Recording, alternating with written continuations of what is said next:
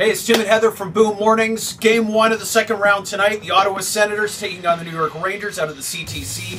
And just so everyone is excited for the game tonight, we thought we'd go through the most important things to have for an Ottawa Senators fan.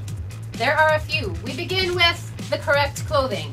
You gotta have some Sens gear to cheer them on. Or if you went to the Daniel Alfredsson retirement night in December, you could get the t-shirt too. You That, can rock that as well. that works as well. Acceptable.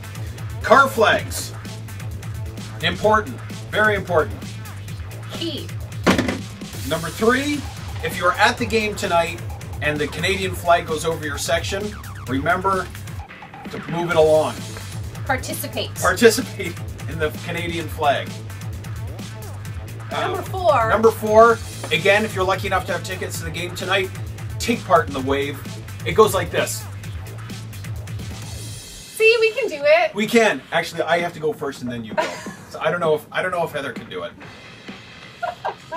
And number five, because the Ottawa Senators are taking on the New York Rangers, Rangers. the Rangers, yep. Um, you want to have yourself a, a big apple. Okay, this isn't really a big apple, but it's it's big enough. It's a And, pink uh, lady apple. It's a pink lady. Yeah. So, uh, you know, you're gonna like destroy the apple, right? You're gonna consume it.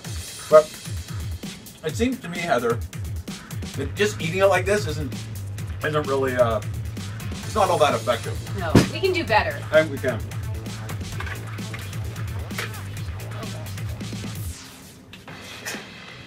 Which one was it? All right. Oh my gosh. go Sens go!